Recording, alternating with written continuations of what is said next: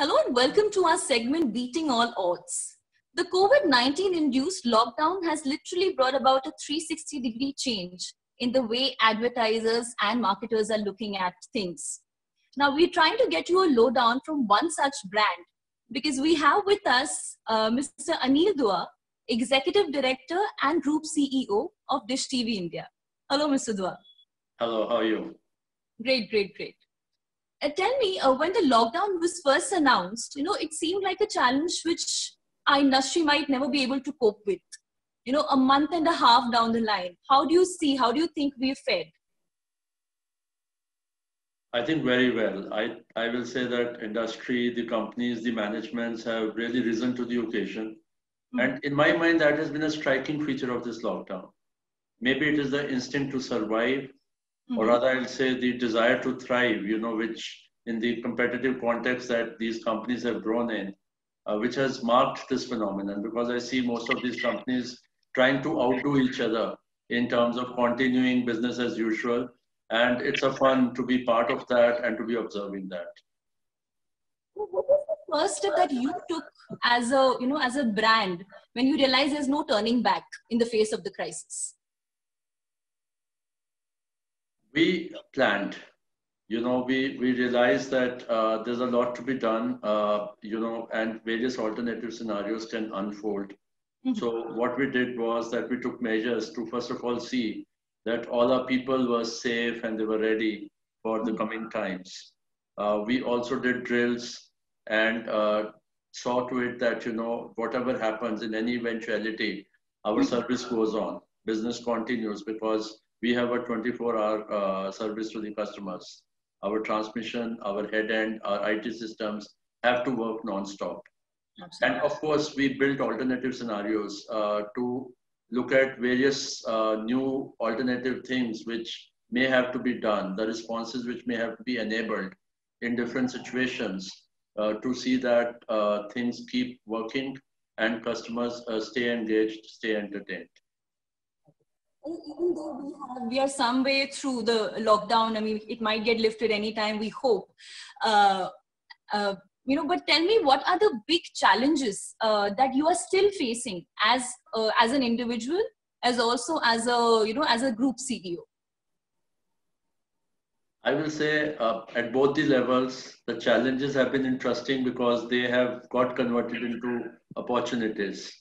At an individual level i think it is living to a new routine, you know, which you have never lived, uh, seemingly very fixed, but actually far more dynamic and demanding than it has ever been, especially for a business and an industry which requires, as I said, 24 by 7 kind of non-stop uh, trouble-free service.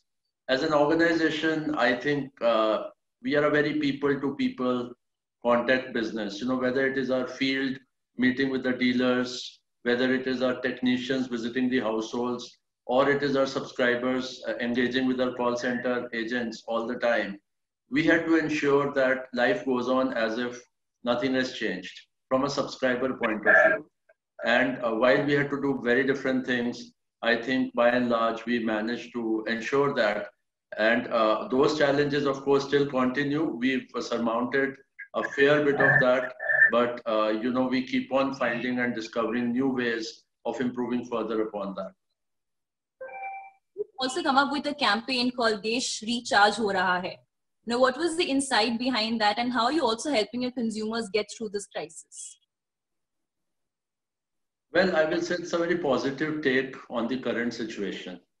Mm-hmm. you know of course in the situation of lockdown uh, you are trying to contain the pandemic but uh, also the lockdown marks a break from the usual humdrum, the usual noise of our modern life.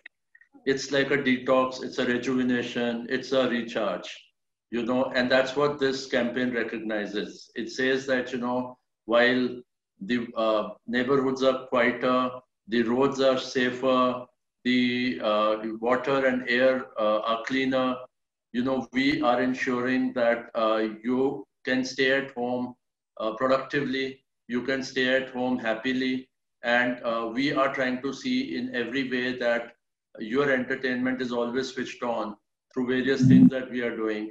Uh, and as our other brand says, so while Dish TV says Desh recharge ho our D2H brand says stay home, stay safe, stay entertained. And together with these two campaigns, we are actually giving that very positive me message, uh, a message of possibilities, a message of possibility in the current situation. But tell me, was your first reaction uh, one of you know wanting to slash the advertising spends like most most marketers do? Did you think you know the first thing I can do is maybe cut down on on all different uh, expensive mediums? Is that how you went about it? So we have to recognize that some of the mediums like uh, out of home and cinema have all, of course, been rendered redundant. But you know, we maintained a minimum presence on TV We've upped our presence on digital. Uh, the advantage we have is that we have our own home channels talking to our own subscribers. Mm-hmm. And that's an important thing because uh, our repeat business, our upgrades, extra content comes mostly from the current subscribers. And our home channels are the major medium of advertising. So they have been with us and they've been a very important medium to communicate all the things that we've done. For example, we extended credit almost three times to what we used to do earlier in terms of paying later. Uh, we've started several free services, whether it is kids service or it's fitness service or it is senior people service.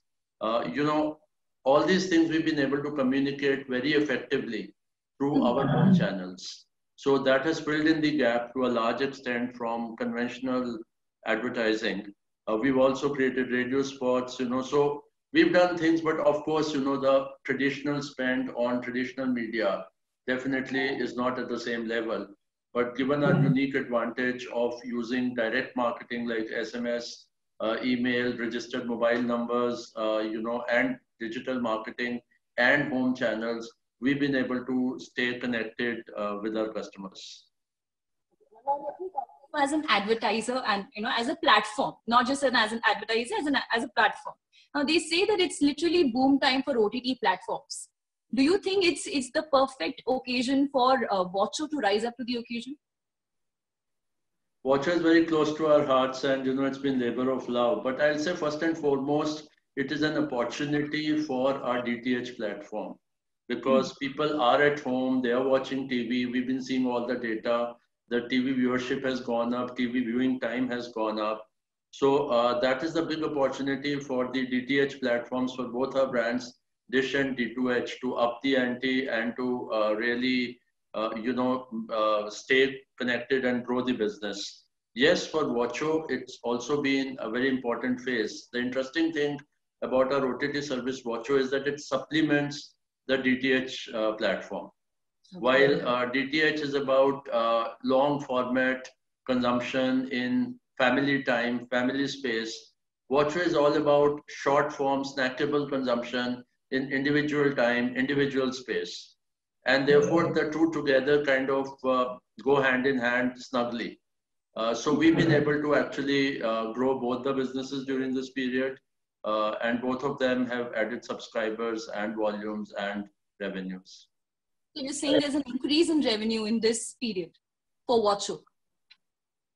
See, Watcho is by and large, uh, you know, a service for our Dish and D2H subscribers. It's also available to non-Dish and D2H, but because we've not been marketing it very aggressively right now, it's a fledgling uh, brand.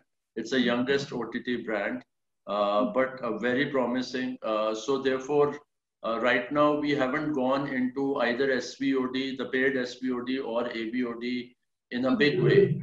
Uh, but uh, the uh, still the volumes have grown. Talking specifically about Watcho, you know, we we had grown to a million downloads after a few months of relaunch, and that's the number with which we entered this year in January. Then in January, February, we doubled it. We added one more million. Uh, then, uh, you know, since then, we've been adding almost a million every month. So as we talk, we are at about 4 million right now also tell me now because uh, because digital is a medium which is being consumed the most a lot of advertisers have literally moved to digital you know be it e-commerce platforms social media etc etc now do you think after a couple of months uh, the trend is going to continue or is it going to be back to the same you know television will be the main medium and you know oh everything will fall in place just the way it was So you see, this has been a long-term trend. The growth of digital has been a long-term trend. So it's here to stay. It's got some fillip uh, under this lockdown, but certainly, uh, you know, uh, the traditional media, I think the Indian ingenuity will ensure that the traditional players also strike back, you know, mm. make, they make a healthy comeback and we'll see uh, everything else also coming back. But yes, mm. this may, you know, move to the next level. Uh, but I think uh, the traditional mediums are here to stay and we'll see them come back in new innovative ways. Okay. And another interesting thing that, you know, agency heads have told me is that, uh, you know, uh, their relationship with their uh, with their clients have changed. Now they are a lot less demanding. Would you would you agree? Well, I think it is uh, always mutual. Uh, I think the agencies have also been very forthcoming. They're truly playing the role of creative uh, partners. I think the creativity and innovation has really blossomed during this time. Uh, you know, almost everyone has been shooting videos and TVCs from home.